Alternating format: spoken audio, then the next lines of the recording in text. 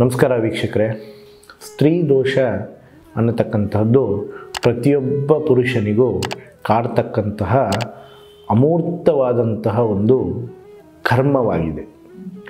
ಸ್ತ್ರೀ ದೋಷಕ್ಕೆ ಒಳಗಾಗದೇ ಇರತಕ್ಕಂತಹ ಪುರುಷ ಭೂಮಿಯಲ್ಲೇ ಅಲ್ಲ, ಯಾವುದೇ ಒಂದು ಗ್ರಹದಲ್ಲಿಯೂ ಕೂಡ ಇಲ್ಲ. ಸ್ತ್ರೀಯ ಒಂದು ಶಾಪಕ್ಕೆ ಋಷಿಮುನಿಗಳಾಗಿರಬಹುದು ದೇವಾನುದೇವತೆಗಳೇ ಗುರಿಯಾದಂತಹದ್ದಾಗಿದೆ. ಸ್ತ್ರೀಯ ಒಂದು ಶಾಪ ಬಹಳ ಕೆಟ್ಟ ಶಾಪ, ಬಹಳ ಕೆಟ್ಟ ದೋಷ. ಆ ಸ್ತ್ರೀ ಶಾಪದಿಂದ ಸ್ತ್ರೀಯ ಒಂದು ದೋಷ. ಮೊದಲಿಗೆ ಹೇಳ್ತೇನೆ, ಏನಪ್ಪ ಇದು ಈ ರೀತಿ ವಿಚಾರಗಳನ್ನು ಇವತ್ತು ಹೇಳ್ತಾ ಇದ್ದಾರೆ ಗುರುಗಳು ಇವರು, ಯಾಕೆ ಈ ರೀತಿಯಾದಂತಹ ವಿಚಾರವನ್ನು ಸುಧೀಂದ್ರ ಭಟ್ ಅವರು ತಿಳಿಸ್ತಾ ಇದ್ದಾರೆ ಅಂತಕ್ಕಂತಹ ಒಂದು ಸಂದೇಹ ನಿಮ್ಮಲ್ಲಿ ಹುಟ್ಟಬಹುದು. ಆದರೆ ಹೇಳತಕ್ಕಂತಹ ವಿಷಯದಲ್ಲಿ ಹುರುಳಿದೆ. ಹೇಳತಕ್ಕಂತಹ ವಿಷಯದಲ್ಲಿ ವಿಶೇಷವಾದಂತಹ ಒಂದು ಮಾರ್ಗ ಇದೆ. ಯಾಕೆ ಅಂತ ಹೇಳಿದರೆ, ಒಬ್ಬ ಪುರುಷ ತನ್ನ ಜೀವನದಲ್ಲಿ ಒಂದು ಸ್ತ್ರೀಯನ್ನು ಯಾವುದೇ ರೂಪದಲ್ಲಿ ಒಂದು ನಿಂದಿಸಿದರೂ ಕೂಡ ಒಂದು ದೋಷ, ದಂಡಿಸಿದರೂ ಕೂಡ ಒಂದು ದೋಷ, ಅವಳನ್ನು ನಮ್ಮ ಅಂದರೆ ಒಂದು ಪುರುಷನ ಒಂದು ಆಸೆ ಆಮಿಷಗಳಿಂದ, ದುರಾಸೆಗಳಿಂದ ಅವಳನ್ನು ಬಳಸಿಕೊಂಡು, ಅವಳನ್ನು ಕೆಟ್ಟ ರೀತಿಯಲ್ಲಿ ಬಳಸಿಕೊಂಡರೂ ಒಂದು ದೋಷ. ಅದು ನಾವು ಮಾಡ್ತಕ್ಕಂತಹ ಒಂದು, ಆ ಹೆಣ್ಣಿನ ಮೇಲೆ, ಒಂದು ಸ್ತ್ರೀ ಮೇಲೆ ಮಾಡತಕ್ಕಂತಹ ಒಂದು ಅತ್ಯಾಚಾರ, ಅನಾಚಾರಗಳು ಕೂಡ ಒಂದು ಕರ್ಮ.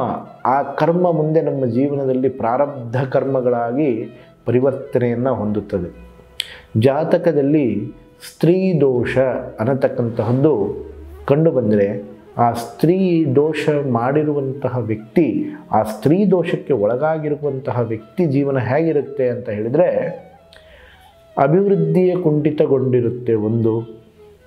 ಎಷ್ಟೇ ಸಂಪತ್ತು ಇದ್ದರೂ ಕೂಡ ಹಣಕಾಸಿನಲ್ಲಿ ಅಭಿವೃದ್ಧಿ ಹೊಂದದೆ ಹಣ ಹಾನಿಯಾಗ್ತಾ ಹೋಗುತ್ತೆ. ಮನಸ್ಸಿಗೆ ಶಾಂತಿ ಇರುವುದಿಲ್ಲ, ನೆಮ್ಮದಿ ಇರುವುದಿಲ್ಲ. ಸ್ತ್ರೀಯ ಒಂದು ದೋಷ ಸ್ತ್ರೀಯ ಒಂದು ಪಾಪ ಏಳು ಜನ್ಮದ ಸಂತಾನದವರೆಗೂ ಕಾಡುತ್ತೆ.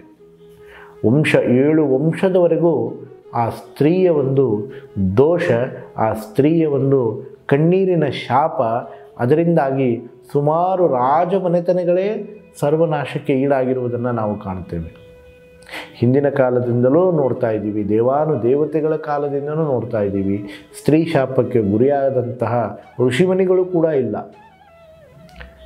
ಹಾಗಾಗಿ ಸ್ತ್ರೀ ಶಾಪಕ್ಕೆ ಒಳಗಾಗುವುದು ಬೇಡ.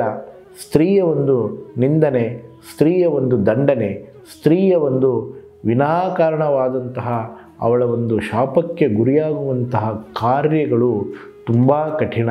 ಹಾಗೂ ಆ ಕಾರ್ಯದಲ್ಲಿ ಆ ಒಂದು ಕರ್ಮವಾಗಿ ಪ್ರ, ಪರಿವರ್ತನೆಯಾಗಿ ಆ ಒಂದು ಕರ್ಮವೇ ನಮಗೆ ಪ್ರಾರಬ್ಧವಾಗಿ ನಮ್ಮ ಜೀವನದ ಏಳಿಗೆ ಕುಂಠಿತವನ್ನುಗೊಳಿಸುತ್ತೆ ವೀಕ್ಷಕರೇ. ಹಾಗಾಗಿ ಪ್ರತಿಯೊಬ್ಬ ಪುರುಷನು ತನ್ನ ಜಾತಕದಲ್ಲಿ ಸ್ತ್ರೀ ದೋಷ ಇದೆ ಅಥವಾ ಇಲ್ಲ ಎಂಬುದನ್ನು ಕರಾರುವಕ್ಕಾಗಿ ನೋಡಿಕೊಂಡು ಆ ಒಂದು ಜೀವನದಲ್ಲಿ ತಾನು ವ್ಯಕ್ತವಾಗಿನೂ ಅಥವಾ ಅವ್ಯಕ್ತವಾಗಿನೂ ತನಗೆ ತಿಳಿದೋ ಅಥವಾ ತಿಳಿಯದೋ ತನ್ನ ಒಂದು ಸ್ತ್ರೀಯನ್ನು ತನ್ನ ಸುತ್ತಮುತ್ತಲಿನ ಯಾವುದೇ ಒಂದು ಸ್ತ್ರೀ ಆಗಿರಬಹುದು. ಇವತ್ತು ಸ್ತ್ರೀ ನಮಗೆ ತಾಯಿಯಾಗಿರ್ತಾಳೆ, ತಂಗಿಯಾಗಿರ್ತಾಳೆ, ಮಡದಿಯಾಗಿರ್ತಾಳೆ, ಹಾಗೂ ಸೋದರಿಯಾಗಿರ್ತಾಳೆ, ಹಾಗೂ ಇನ್ನೆಲ್ಲ ರೀತಿಯಲ್ಲಿ ತಾಯಿಯಾಗಿ, ಅತ್ತೆಯಾಗಿ, ಸೋದರಿಯಾಗಿ ಕೆಲವೊಂದು ಪಾತ್ರಗಳನ್ನು ಅವಳು ಅಭಿನಯಿಸ್ತಾಳೆ. ಜೀವನದಲ್ಲಿ ಒಂದು ಸ್ತ್ರೀ ನಮಗೆ ನಾನಾ ರೂಪದಲ್ಲಿ ಸಿಗುತ್ತಾಳೆ. ಆ ಸ್ತ್ರೀಯನ್ನು ಯಾವುದೇ ಒಂದು ಕಾರಣದಿಂದ ನಾವು ದಂಡನೆಗೆ ಒಳಪಟ್ಟು, ಒಳಪಡಿಸಿದ್ದೇ ಆಗಿದ್ದಲ್ಲಿ ನಮಗೆ ಸ್ತ್ರೀ ದೋಷ ಖಂಡಿತವಾಗಿಯೂ ಕ್ಷಮಿಸುವುದಿಲ್ಲ. ಹಾಗಾಗಿ ಯಾರೂ ಕೂಡ ಸ್ತ್ರೀ ದೋಷಕ್ಕೆ ಒಳಗಾಗಬಾರ್ದು. ಯಾರೂ ಕೂಡ ಸ್ತ್ರೀಯ ಒಂದು ಅಪನಿಂದನೆಯನ್ನು ಮಾಡಬಾರದು. ಸ್ತ್ರೀಯ ಒಂದು ದಂಡನೆಯನ್ನು ಮಾಡ, ಮಾಡಬಾರದು. ಹಾಗಾಗಿ ಅಪ್ಪಿತಪ್ಪಿ ಯಾವುದಾದರೂ ಒಂದು ರೂಪದಲ್ಲಿ ಆ ಕರ್ಮವನ್ನು, ಆ ಪ್ರಾರಬ್ಧವನ್ನು ಅನುಸರಿಸುತ್ತಿರುವಂಥವರಾಗಿದ್ದರೆ ಇವತ್ತಿನಿಂದಲೇ ಆ ಒಂದು ಸ್ತ್ರೀಯ ಒಂದು ಗೌರವವನ್ನು ಕೊಡುವಂತಹ ಒಂದು ಕಾರ್ಯದಲ್ಲಿ ಕಾರ್ಯೋನ್ಮುಖನಾಗಿ ಮತ್ತು ಆ ಸ್ತ್ರೀಯ ದೋಷ, ಆ ಸ್ತ್ರೀಯ ಶಾಪಕ್ಕೆ ಗುರಿಯಾಗಿರುವಂಥವರು ಸೂಕ್ತ ರೀತಿಯಲ್ಲಿ, ಶಾಸ್ತ್ರಬದ್ಧ ರೀತಿಯಲ್ಲಿ ಅದನ್ನು ಪರಿಹಾರವನ್ನು ಮಾಡಿಕೊಳ್ಳಿ.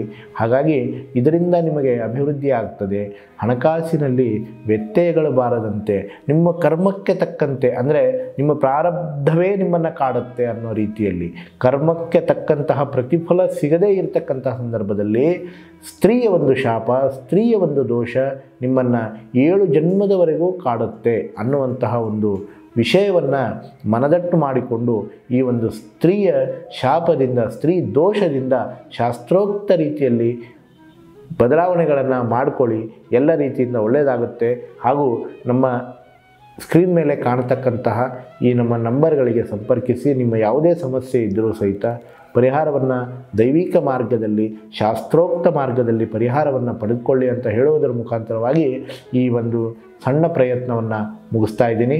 ನಮಸ್ಕಾರ. ಮತ್ತು ಡಿವೈನ್ ಕನ್ನಡ ಯೂಟ್ಯೂಬ್ ಚಾನಲನ್ನು ಸಬ್ಸ್ಕ್ರೈಬ್ ಮಾಡಿಕೊಳ್ಳಿ. ಕಾಮೆಂಟ್ ಮೂಲಕ ನಿಮ್ಮ ಅಭಿಪ್ರಾಯಗಳನ್ನು ನಮಗೆ ತಿಳಿಸಿ. ನಾವು ಮಾಡ್ತಕ್ಕಂಥ ಇನ್ನೂ ಹೆಚ್ಚು ಹೆಚ್ಚಿನ ವಿಡಿಯೋಗಳು ನಿಮಗೆ ಸಿಗುವಂತಾಗುತ್ತೆ. ಈ ವಿಷಯವನ್ನು ತಿಳಿಸ್ತಾ ನಮಸ್ಕಾರ ಮಾಡ್ತಾಯಿದ್ದೀನಿ